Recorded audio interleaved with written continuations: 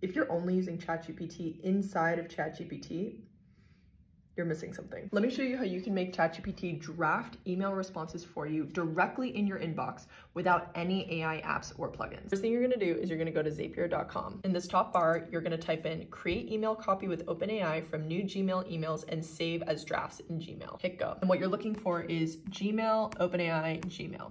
That looks perfect, so just hit try it. Okay, now if you haven't used Zapier before, this might look a little overwhelming, but it's actually super simple. Each of these are steps First, this step happens, then this one, then this one. First, you're gonna have to link your Gmail account. Mine is already done. Change the trigger event to new email, hit continue. On the configure page for label or mailbox, you can either have it go through any email that comes into your inbox, or you can select a certain label. We're gonna go with the entire inbox for now. Now click on the second bucket. Once again, you're gonna have to connect your OpenAI account. For action event, hit send prompt. Now this is important. In the prompt bucket, you're going to type in, write a draft response to this email hit enter, enter, and then hit backslash. It's gonna open up this little thing and you're gonna select body plain.